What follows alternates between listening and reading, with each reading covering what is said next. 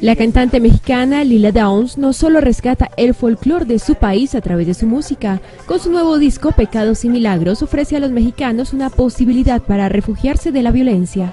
Y yo espero que este disco nos saque adelante, que este disco sea para nosotros un refugio y que sea también un regalo poético en el que podamos planear, pensar y no sentir tanta angustia. Nacida en Oaxaca hace 43 años, la cantante confiesa que su fortaleza parte de las tradiciones, como por ejemplo de las mujeres que muelen maíz. Sus sentimientos la han llevado además a ser traductora de pensamientos.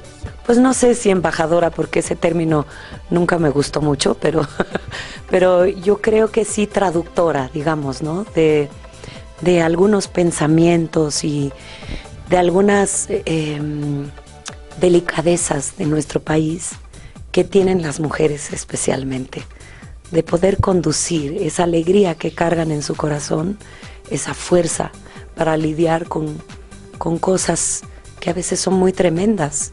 Lo suyo es usar música para transformar la sociedad, pero desde hace un año y medio, la maternidad la transformó a ella dándole más coraje para luchar por los inmigrantes. Pues me ha hecho un poco miedosa ante ciertas cosas y un poco todo lo contrario.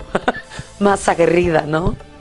De las 14 canciones que contiene el álbum, seis fueron compuestas por la artista y el resto son canciones clásicas mexicanas de artistas como José Alfredo Jiménez. Santito, bajito y oigo que dicen, camínale despacito, ay mamá, camina.